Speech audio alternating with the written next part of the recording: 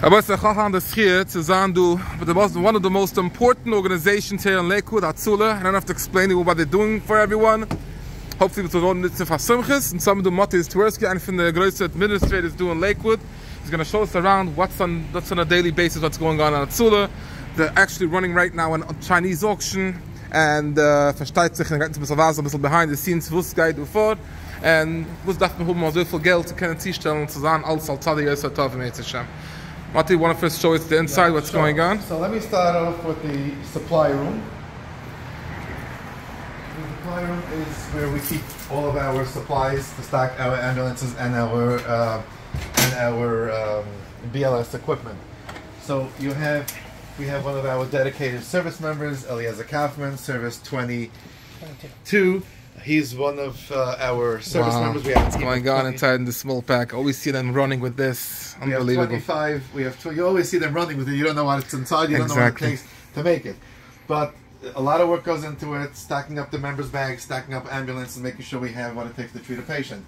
Um, you told me before you need some EpiPens, EpiPens. right? The EpiPens expire. EpiPens are one of the expensive things we have, um, which expires pretty quickly. Um, There's no Narcan either. So EpiPens and Narcan. Narcan is also expensive, and something else that we that we uh, that every member has that in the bag. Um, here we have here we have all our um, BLS equipment, our trauma stuff, bandages, gauze pads, um, splints, collars, um, our oxygen masks, different sizes, albuterol masks, nebulizer masks. Um, we have they carry albuterol as well, and stethoscopes, blood pressure cuffs. This is everything a member needs to carry in his bag in order to treat a patient. Gewaltig, wow. Froyam, let me show you. This is our uh, dispatch room, our main dispatch room. However, we do not use this on a daily basis. The dispatchers dispatch from the comfort of their own home. Um, we have one dispatcher on at a time for every two hours, but we have multiple dispatchers available if need be. So Uh, when are you using if- this room? If there is a snowstorm or some kind of a uh, big event, we'll usually have two dispatchers in this room. We also have in our James Street garage, we also have a huge dispatch room where there may be. How many garages do you have altogether? we have four garages, and we have um, we're building another three now, and we have uh, ambulances and paramedic vehicles parked all around town, Jackson, Toms River as well.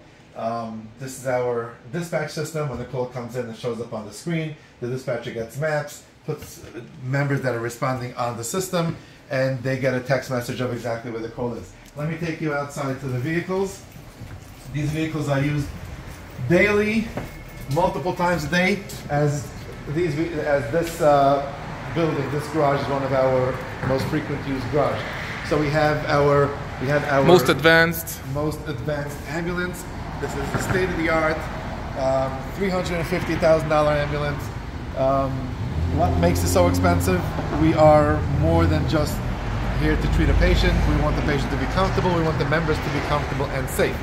Um, if you take a look at the stretcher system, the stretcher system we have is a is a uh, fifty thousand dollar stretcher system. Again, it's for the patient's comfort and safety, as well as the members' comfort and safety.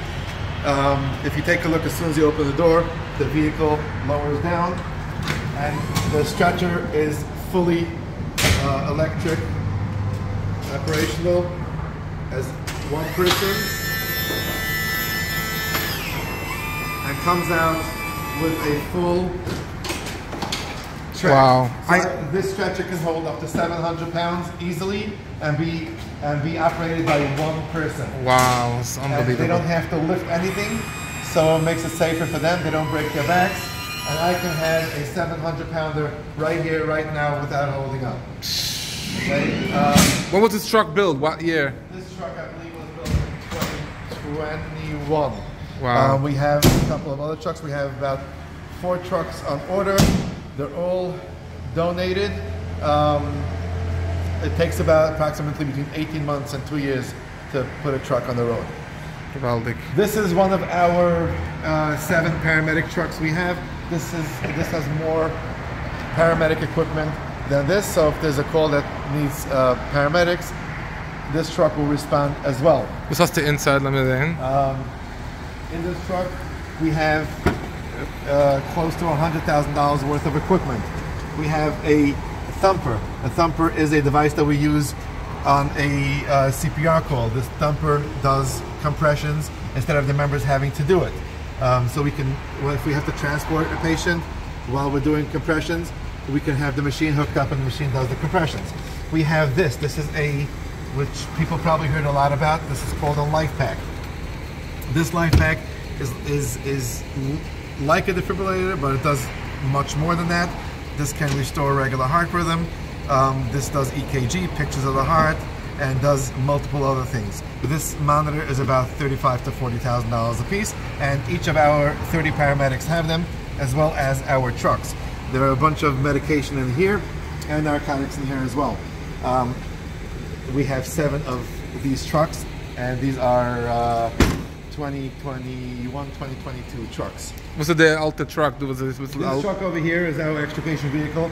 Hatzalah of Central Jersey is one of the only Hatzalahs in the world that does our own extrication. Usually it's the fire department. Uh, we have a team of members who are regular members as well who train the vehicle extrication. Um, this has three sets of extrication equipment so we can either work on one car quickly or we can or we can uh, to cut up one car quickly we can cut up two three cars at the same time. Wow. Um, this is John. Here you go.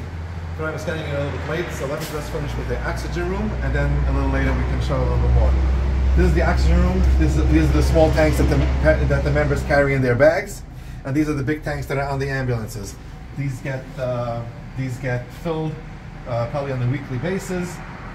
Uh, members come here to refill to get their new tanks, put their old ones in, and they get switched out. The service members, part of their responsibility is if uh, uh, ambulance oxygen gets low, they bring the ambulance over here and they switch their big tanks. Gewaltig. Fine, schkoerig. I guess we darf mamshach sein. It's getting late. And uh, the order to wissen, this is very important for Tula. Anybody that wants to donate or to, to be part of the Chinese auction, I'll post a link, the booklet, and the big mitzvah to be part of it.